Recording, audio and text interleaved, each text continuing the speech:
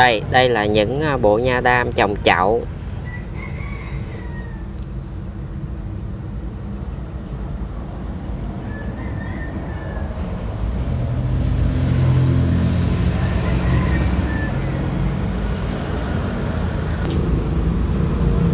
Những bụi này thì nó đã thiếu đất rồi bẹ nó cũng không được to lắm.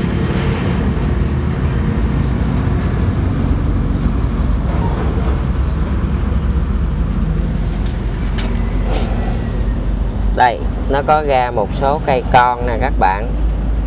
Mình đợi những cây con này nó cỡ 4 năm à, bẹ, nó cao lên à, một chút nữa thì mình sẽ bứng ra những cái chậu. Đây, nó cao như thế này thì mình sẽ bứng ra, mình trồng một cái chậu riêng.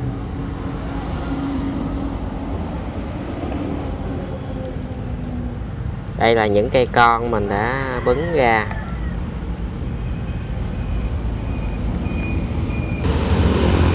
Đây đây một cây à, con nữa đang lớn đây.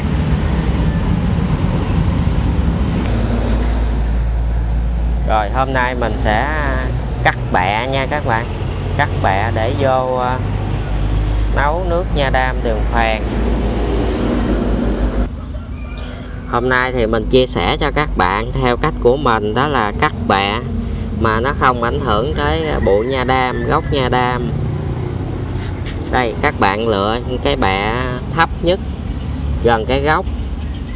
Và chúng ta dùng cây dao. Chúng ta xẻ một đường nhỏ ở cái um, cạnh bẹ đụng vô phần gốc nha đam. Rồi, chúng ta dùng tay chúng ta tét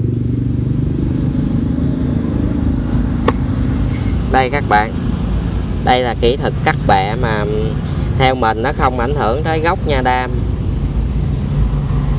Cắt bẹ thu hoạch bẹ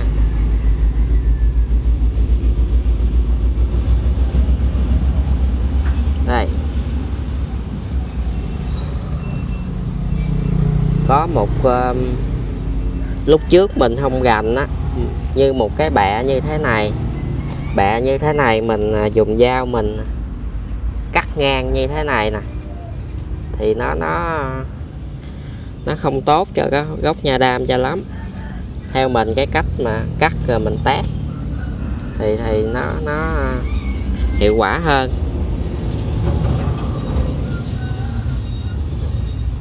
Bụi này thì nó cao rồi mình chưa có hạ xuống.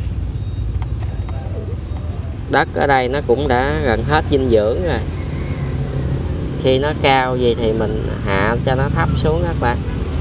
Bằng cách mình mình cắt ngang ở phía dưới này nè. Mình cắt ngang ở phía dưới này thì mình sẽ hạ xuống. Bụi nha đam nó sẽ tốt lại bình thường. Rồi, mình qua bụi bên đây mình cắt thêm à, một bẹ nữa nha các bạn.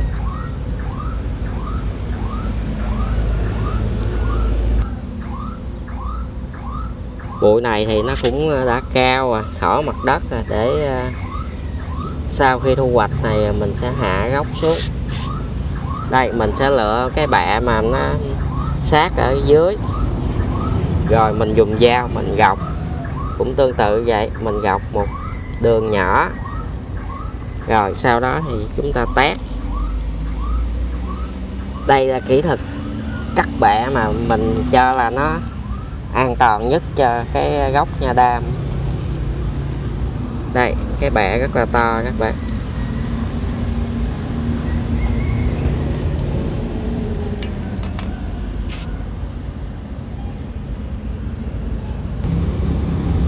Rồi để mình qua bộ bên đây mình cắt thêm một bẹ nữa. Khoảng 3 đến 4 bẹ là mình nấu được một uh, ca nha đam đường hoàng, uống rất là mát nha các bạn. Đây, mình cắt. Mình cắt một góc.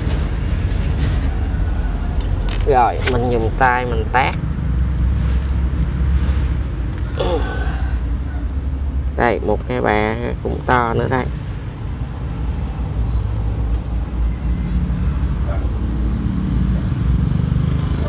Những chậu này thì nó đã hết phân rồi chất dinh dưỡng nó, nó trong đất nó ít đi. Nên những bẹ nhỏ nhỏ không à. Rồi mình qua bụi bên đây mình cắt thêm một bẹ nữa.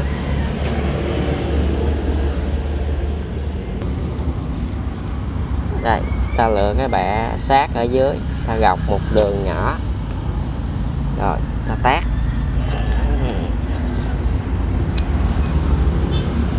Các bạn cứ mạnh dạng, các bạn tát cho nó lộ cái gốc ra gì.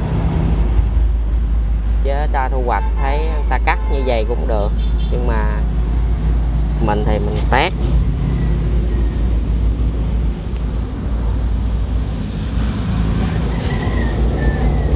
rồi, ta qua bụi bên ờ, kế bên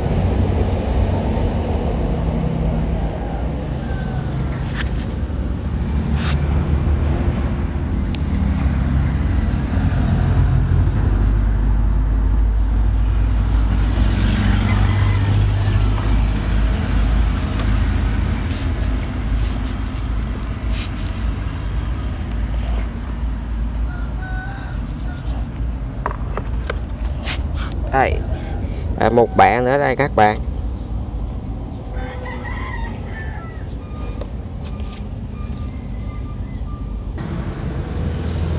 Đây, sau một hồi thu hoạch thì mình được hai, bốn, năm bạ nha đam.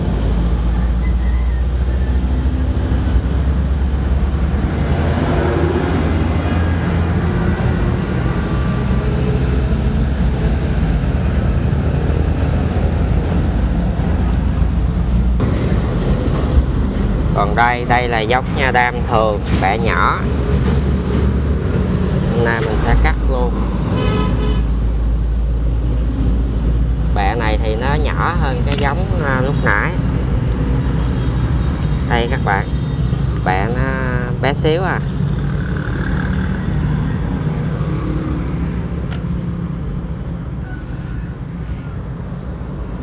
Mà nó nhảy con rất là nhiều.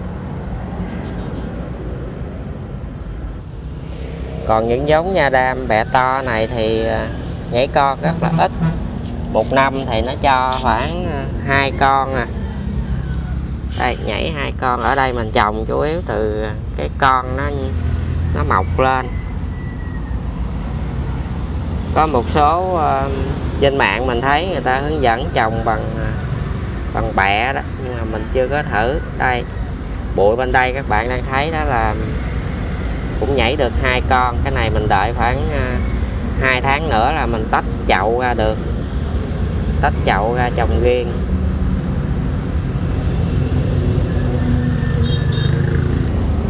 Nó to cỡ như vậy là mình tách ra được rồi các bạn. Hai, bốn, cỡ năm năm bẹ, năm đến 6 bẹ là mình tách ra một chậu mình trồng riêng.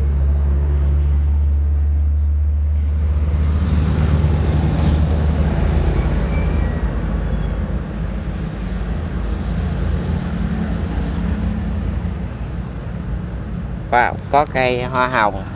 Hoa hồng có bông nè các bạn.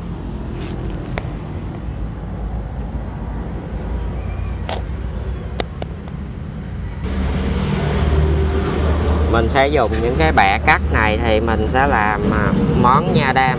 Nấu với đường phèn uống à, cho mát. Đó là kỹ thuật mà mình chia sẻ, đó là cách cắt bẹ nha đam, mà theo mình, nó không ảnh hưởng tới gốc nha đam các bạn. Nếu các bạn thấy à, video này hay thì à, hãy like và đăng ký kênh ủng hộ để mình à, ra tiếp những video tiếp theo. Cảm ơn các bạn đã ủng hộ kênh Trường Phạm TV rồi, xin trân trọng, chào tạm biệt các bạn nha. Bây giờ mình vô mình nấu nước đường hoàng đây.